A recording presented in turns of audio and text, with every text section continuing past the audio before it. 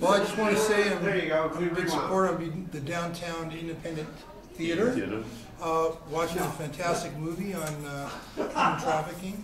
World Cup protector.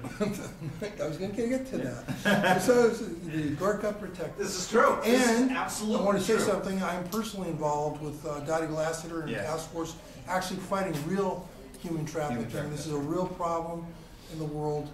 It's necessary, and it's important that you go to films like this to so you have a good understanding of what goes on and and the bravery and the courage it takes to to fight this. That's right. Sidekick Publications will be there. Uh, me, Alan Woodman. Uh, fantastic uh, event, fantastic film. I know uh, Shuny is.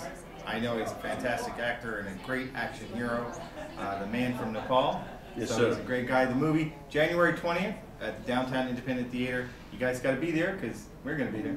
Okay, thank you for uh, Alan and uh, Frank. It's my honor to be with you guys today here. And uh, please come and support martial art movie against fighting human trafficking. See you there. Thank you very much. One, Be there.